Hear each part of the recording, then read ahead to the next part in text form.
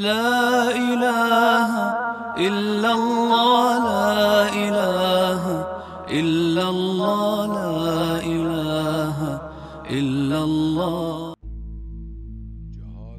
Tarixdən ibrət almaq. Ölkənin indiki vəziyyətində cihadın olmasından nigaran deyiləm. Bunu bilin. Lakin Quranda aydın bir məqam bizi düşündürür. Quran bizə deyir ki, baxın və tarixdən dərs alın. Bəziləri fəlsəfə bazlıq eləyə bilər ki, keçmiş bu gün üçün nümunə ola bilməz. Eşitmişəm ki, belə sözlər danışırlar və öz xəyallarına əsasən məsələlərə fəlsəfi üslublarla yanaşmaq istəyirlər. Onlarla işimiz yoxdur. Sadiq və doğruçu Qur'an bizi tarixdən ibrət almağa dəvət edir. Tarixdən ibrət almaq indi qeyd etdiyim nigarançılıqdır. Çünki tarixdə elə şey var ki, ondan ibrət almaq istəsək, nigaran olmalıyıq. Bu nigarançılıq gələcəyə aiddir. Nə üçün və nədən ötürü nigaranıq?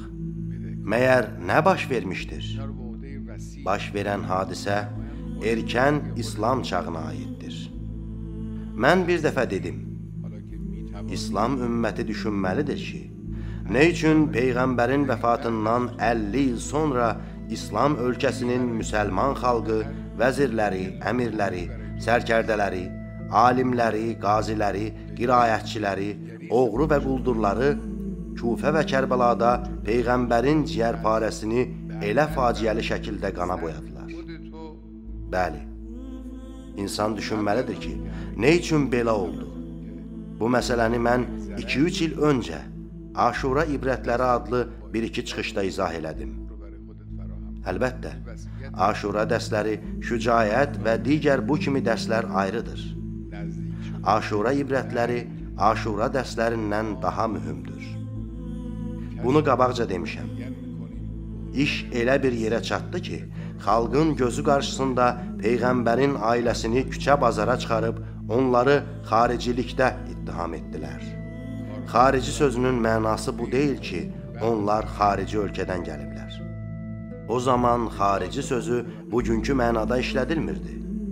Xarici, yəni xəvaricdən olan, yəni xuruc və qiyam edən, İslamda diqqətə layiq bir mədəniyyət var. O da budur ki, əgər kimsə adil imamın əleyhinə qiyam etsə, Allahın, Peyğəmbərin, möminlərin və imanlı qüvvələrin lənətinə məruz qalar. Deməli, xarici, ədalətli imam əleyhinə qiyam edən şəxsdir.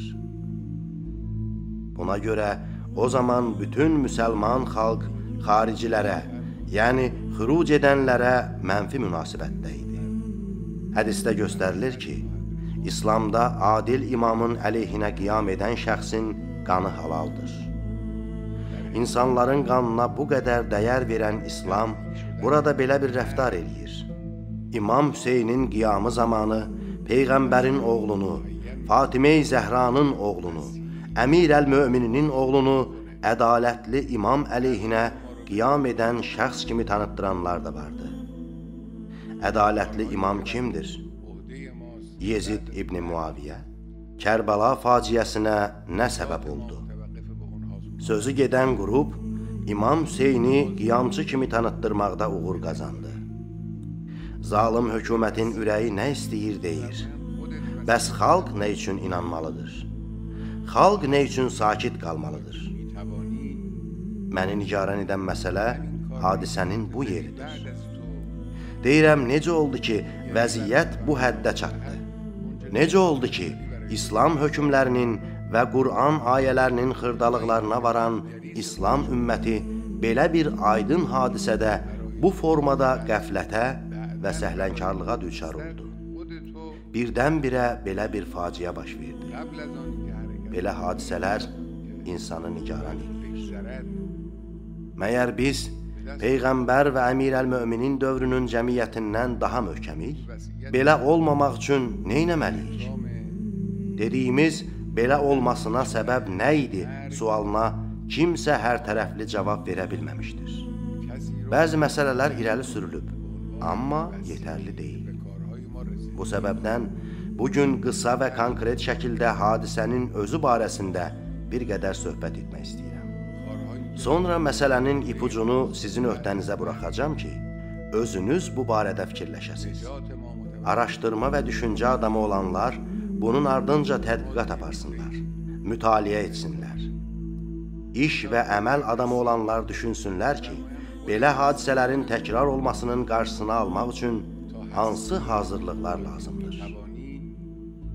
Əgər bu gün mən və siz hadisənin qarşısını almasaq, 50 ildən, 10 ildən yaxud 5 ildən sonra bizim İslam cəmiyyətimizin İmam Hüseynin dövründəki vəziyyətə düşməsi mümkündür.